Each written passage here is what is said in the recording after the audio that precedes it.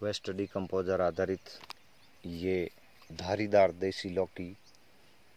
अक्सर इससे पहले जब हम लौकी की फ़सल करते थे तो वेस्ट डिकम्पोजर का जहाँ उपयोग नहीं होता था, उसका रंग थोड़ा पीलापन में था।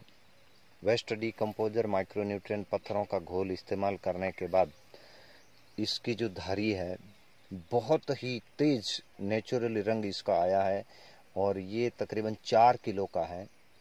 और इसकी साइज़ जो है, पंद्रह किलो तक जाती है, इसका वज़न पंद्रह किलो तक जाता है।